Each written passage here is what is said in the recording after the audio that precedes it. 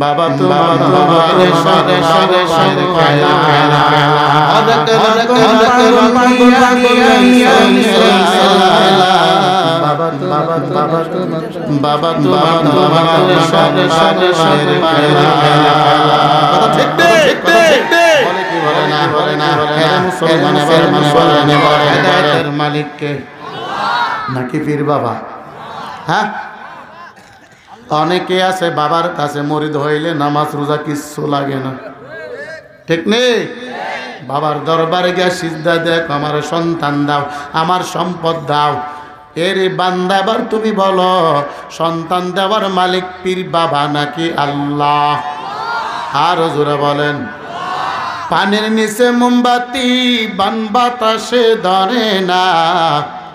বাবার কাছে মরিদে হইলে নামাজ রোজা লাগে না। ঠিক কিনা? বলে কি বলে না?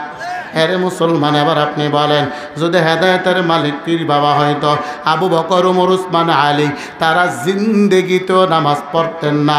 লম্বা ঘটনা, আবু বকর জান্নাতুল বাকির মধ্যে কাঁদে ওমর জান্নাতুল বাকির মধ্যে কাঁদে। আবু বকর সারা রাত তাহাজ্জুদ নামাজে দাঁড়াই আল্লাহর কাছে কাঁদে।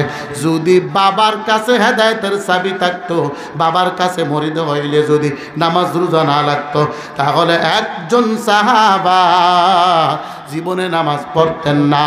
কারণ দুনিয়ার সবচাইতে বড় পীর হলেন রাহমাতুল্লিল আলামিন আল্লাহু আকবার বলেন। নবীর চাইতে বড় পীর কেউ আসেনি।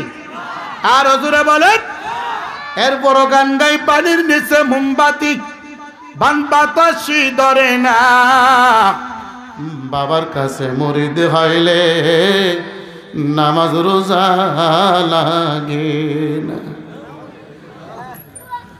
বাবা তোমার দরবারে হাঙ্কি লয়া দূর মারে।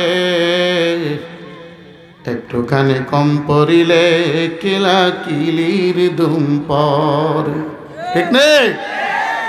যাবেন নি বাবার মাজারে? হেদায়তের মালিককে। আর জুড়ে বলেন, এর নবীরা শিকির দো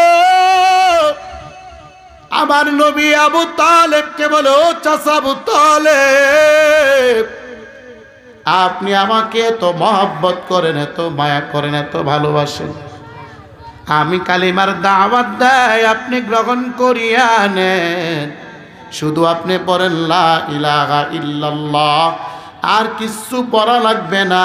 আমি নবী সুপারিশ করে জান্নাতে নিয়ে যাব চিল্লা বলেন, সুবহানাল্লাহ এবার আবু তালেবের মনটা নরম হয়ে গেল।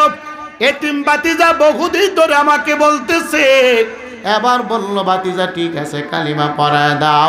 আবু জাহেল চলে আসলো, বলল, আবু তালেব, তুমি মক্কার সবচাইতে বড় লিডার সবচাইতে বড় নেতা।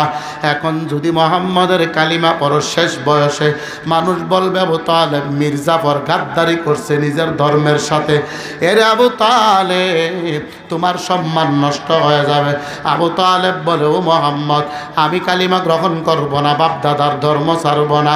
আমার আল্লাহ ডেকে বলেন, ইন্নাল্লাহ লা ইয়াহদি মান আহবাবতা ওয়ালাকিন্নাল্লাহ ইয়াহদি মান ইয়াশা। ও পয়গম্বর, আপনি যাকে মহাব্বত করেন, আপনাকে যারা মহাব্বত করে, আপনি ইচ্ছা করলেই তাদেরকে হেদায়ত দিতে পারবেন না। যতক্ষণ আমি আল্লাহ হেদায়ত তাদের কপালের মধ্যে না আরও আস্তে গণ্য খারাপ লাগতেছে? খারাপ লাগলে আমি শেষ করে দেব। কি করে? শেষ করে দে।